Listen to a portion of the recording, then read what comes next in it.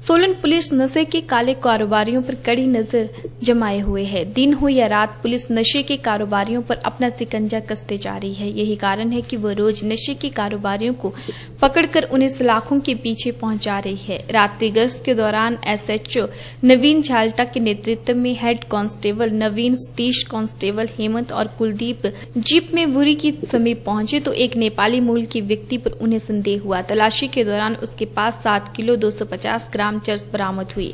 Police ने नेपाली युवक भीम सिंह के खिलाफ मामला दर्ज कर लिया है। फ़िलहाल उससे पूछताछ की जा रही है कि वह यह चर्च कहाँ से लाया था और यह कहाँ बेची जानी थी। एसएचओ नवीन छाल्टा उम्मीद कर रहे हैं कि पकड़े गए युवक से कई खुलासे हो सकते हैं और कई बड़ी मछलियाँ उनकी गिरफ्त में आ सकती हैं। एसएचओ नवीन छाल्टा ने बताया कि गश्त के दौरान उनकी टीम ने नेपाली मूल के व्यक्ति से सात किलो दो सौ पचास ग्राम चर्च बरामद की है, जिसके खिलाफ मामला दर्ज कर लिया गया है और आगामी कार्रवाई अमल में लाई जा रही है।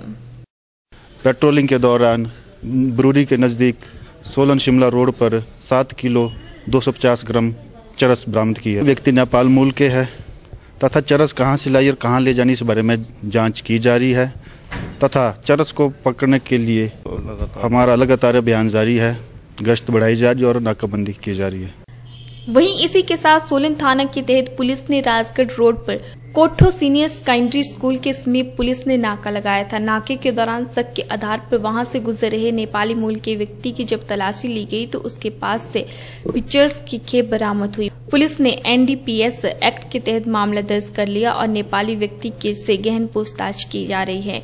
मामले की पुष्टि करते हुए डीएसपी आर एल बंसल ने बताया कि उनकी टीम ने नाका लगाया था। नाके के दौरान व्यक्ति की तलाशी ली गई तो उसके कब्जे से पुलिस ने 646 ग्राम चर्स बरामद की है। पुलिस ने इस संदर्भ में एनडीपीएस एक्ट के तहत मामला दर्ज कर छानबीन शुरू कर दी है।